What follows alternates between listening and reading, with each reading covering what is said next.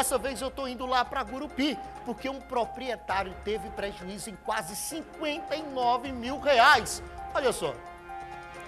A Polícia Militar foi acionada para verificar uma ocorrência de furto em uma empresa de peças automotoras às margens da BR-153 na cidade de Gurupi, setor Eldorado.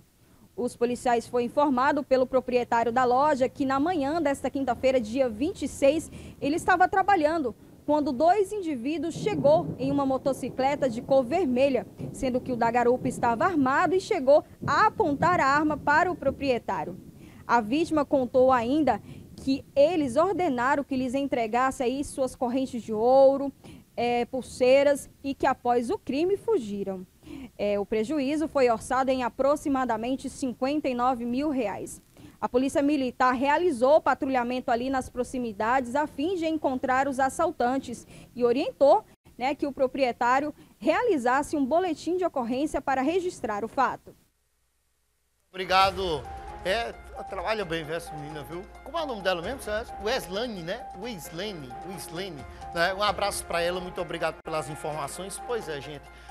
A gente já sabe a dificuldade que é empreender no nosso Brasil. É imposto para lá, imposto para cá, né? Tem que pagar funcionário, e imposto por cima de imposto. E ainda vem as alminhas cebosas, sem titubear, levar o pouco do lucro que as coisas não estão fáceis, o comerciante reclamando, porque a movimentação não está intensa. A movimentação, infelizmente, está fraca.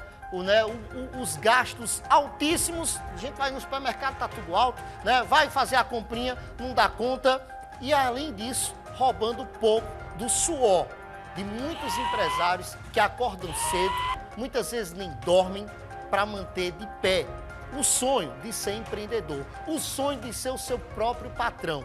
E muitas vezes esse sonho acaba sendo levado embora por conta de criminosos que, sem titubear, entram, roubam sonhos, objetos e a vontade de ser um empreendedor. Infelizmente, muitas pessoas já vêm passando por uma situação que não está é, legal no comércio e ainda vem uma pancada como essa de subtrair o seu bem.